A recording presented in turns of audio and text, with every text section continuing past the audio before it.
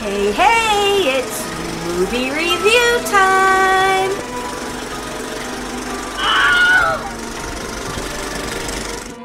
So, this is our first movie review, Not really, our second movie review. but our first one on our own, it, on its own separate vlog, because we Uh, are starting our separate movie reviews on our separate vlogs. Uh, our first movie, second movie, is Devil's Tower, 2014, uh, directed by Owen Tooth, and it was his first movie, uh, starring Jason Mewes of Jay and uh, Silent, Silent Bob. Bob. fame, and uh, Roxanne Pallett. Um, so, and who I did, I've not heard of before, but I've checked her. She's done other things. She's even done a couple of American movies. This is a British production. It is about uh, a young lady who moves into a a flat uh, in a block of flats in, in England. We would call them the projects here, but um, it's a low income housing facility that's some 30 stories tall. I think it was 25, right? Yeah. kept talking about the 25th floor. Yeah. And the reason she moves in there is because her mother is an alcoholic and her and her mother got her mother kicked her out basically and her father had passed away and her mother blamed the daughter for her father passing away.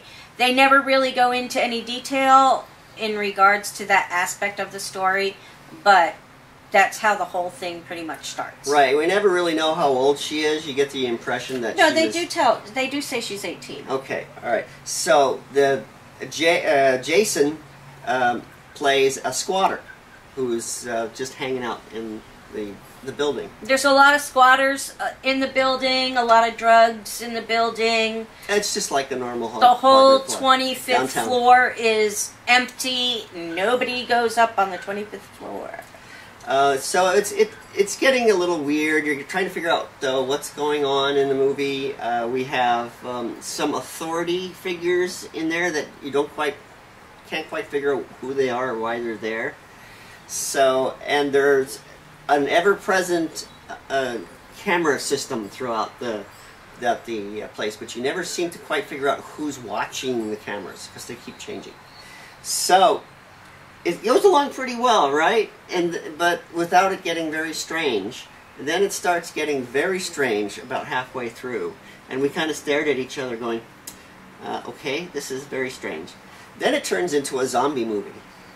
So you get the impression throughout the whole thing is that they didn't quite know where they were going when they started this movie, so they just kind of went with the flow until they came to the end.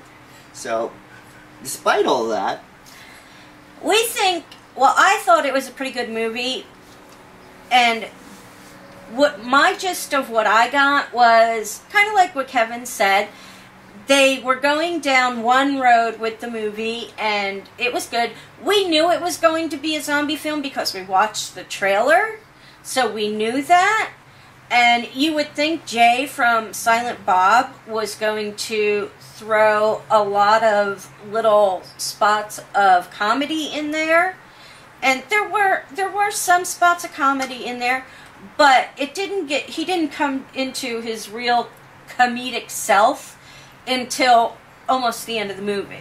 And I would say by this time, um, the dialogue was completely ad libbed. Yeah. It was so. I mean, it was it was truly strange and truly out there. I liked it a lot. I, I liked it. I liked it too. I mean, it, it was, it was, you know, like going down one path and then all of a sudden they didn't know where to go with it, so that's why they turned it into a zombie movie. But it worked. And it was entertaining. It's not Oscar material. No. Um, it uh, for a horror film, it had all the right things that you need: a high body count, a pretty, a relatively high boob count. What would you say, six or eight? Uh, something like that, but the way they even brought the boob count It just suddenly shows up. Weird, It's like you know. we're a horror film. We need a boob count. Yeah. So there they are. You know, and and the way they bring it in without giving the movie away was like two people that didn't have anything to do with the movie and then all of a sudden they're in bed together and it just I, I would have to say Strange. it was cold on set most of the time. but besides all that, it had a satisfying ending. yes, yes, I, And that's I did always like the important to ending. me. I did like the If ending. you have a dumb ending, you ruin the whole movie. you could have, a, to me, if the ending is bad, the movie is bad. I um, the Mist is the one movie that always comes Oh. to my mind. It was an Yeah. incredible ride until you got to the end, and it was like, what were you thinking? And so, it, you know, But this was a good movie, and I did like um, Jay at the end when he, he really, really came into his comedic self at the end there. also seemed like um, about halfway through that you actually hear them saying, "Let's get this thing finished. Let's get this movie." It's like they're aware that uh, they had to finish it and they didn't know what they were doing. But that was part of the fun of the whole thing. Yeah. So, oh well. So, So, stars? stars. Uh, th- I'm I'm gonna have to say three out of five. Your standard horror film, three. I'd say three, three and a half. Yeah. So, Good acting. Loved Jay. Uh, directing was okay. Writing was neg- was negligible, but it. it but I think it had a lot of improv in it it. had it had it had a beginning, middle, and an end. It may And- not have been the same beginning, middle, and end same movie, but it, it was okay. And I think the acting was actually pretty good. oh yeah, Yeah, I think Very the much. acting was pretty good. there but was some like funny Jay. stuff in there. There was some girl, a guy trying to pick up on a girl, and he's completely incoherent through the, the whole thing, but he never shuts up. and and she's on her phone and she's like, I can't hear you, and she's just I, I, I can't hear you, and she's just doing So so. But that, those were uh, I don't know if that was what you call a. Uh, uh, no, uh, I don't know. But recommend.